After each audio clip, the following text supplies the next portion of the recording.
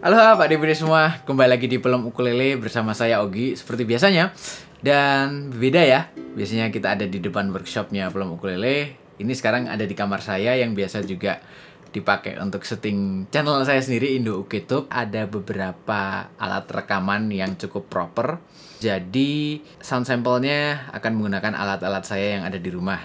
Karena juga dari awal kami berdiri adalah membuat ukulele yang proper buat recording. Kalian ada alat recording yang proper, kita sound sample ini dulu ya. Ini salah satu pesanan uh, customer kami, salah satu bude kami ya. Ini adalah tenor ukulele mahal gini, tetapi yang bikin ini unik bisa dilihat ini adalah finishnya ya. Finishnya ini kayak rustic rustic faded gitu. Keren sih ini. Jadi kelihatan kayak looknya tuh look lawas vintage gitu. Tetapi sebenarnya baru ini. Jadi kelihatan ini udah dibekang lama banget ya. Tapi ini sangat mulus. Jadi bukan relik ya. Kalau relik di gitar temen-temen atau Pak Dibudi tahu uh, gitar dicuakin sininya ada besetnya atau apa itu relik tapi kalau ini mungkin lebih faded. Dan saya pribadi tidak expect bakal jadi sekeren ini menurut saya ya karena ini situasinya recording jadi kita coba compare ya membandingkan antara suara yang uh, dry dry signal. Mungkin Pak Debude yang main recording tahu ya dry signal. Jadi suara asli yang dikeluarin dari si ukulele ini. Terus nanti bedanya dengan plugin gimana dan bedanya saat mastering nanti gimana. Oke? Okay?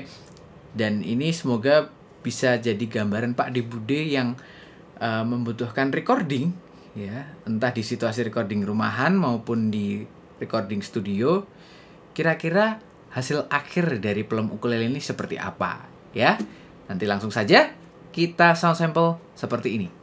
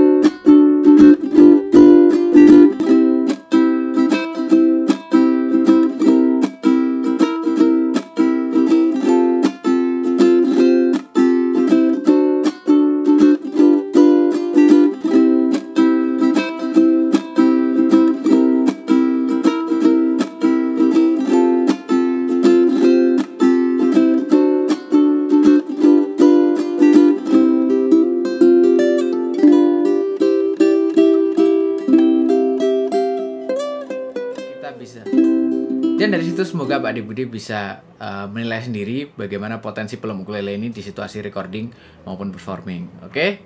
Sampai jumpa di konten selanjutnya. Sehat selalu di rumah, stay safe, stay at home. Jangan lupa jalankan protokol kesehatan. Sampai jumpa di seri selanjutnya.